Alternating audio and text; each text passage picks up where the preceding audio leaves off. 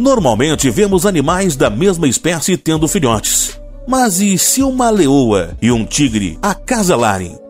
Ou uma zebra e um cavalo? Ou quem sabe uma cabra e uma ovelha? Veremos essas e muito mais nesta série de vídeos sobre cruzas de animais que você não sabia que eram possíveis.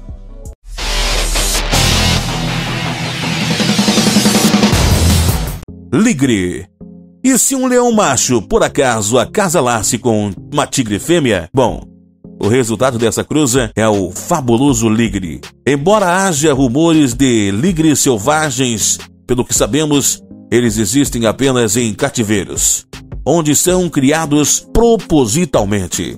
Eles crescem muito rapidamente e são gigantes. Hércules, o maior ligre não obenso, é o maior felino vivo da Terra pesando mais de 410 quilos. Coilobo. Os coilobos são híbridos, resultado da cruza de coiotes e lobos. Os híbridos foram encontrados na natureza, mas inicialmente pesquisadores achavam que se tratava de subespécies de coiotes. Mas ao testarem a genética, descobriram que na verdade se tratavam de híbridos.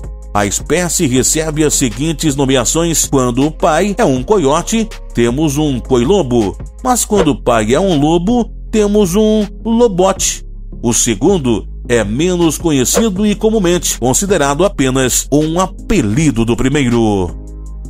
Está curtindo o vídeo?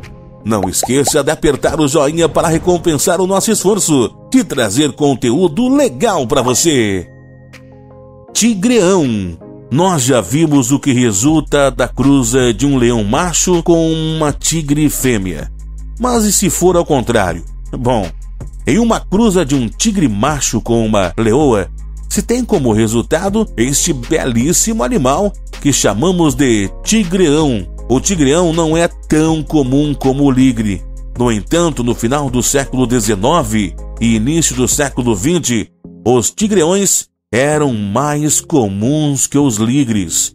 Os tigreões machos são estéreis, enquanto as fêmeas são férteis, pelo fato de que apenas as fêmeas de ligres e as fêmeas de tigreões são férteis. Ligres e tigreões não podem se reproduzir entre si.